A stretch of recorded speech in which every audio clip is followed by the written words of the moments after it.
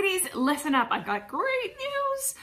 We're doing the LinkedIn challenge again, February 1st kickoff day, and I'm so thrilled.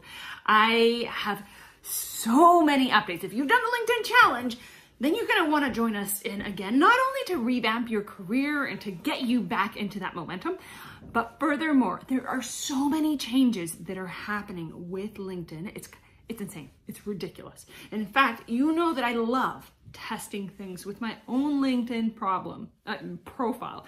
And this time around, it actually got me into a little bit of hot water, to say the least. I got banned from LinkedIn because I figured out how to game the algorithm yet again.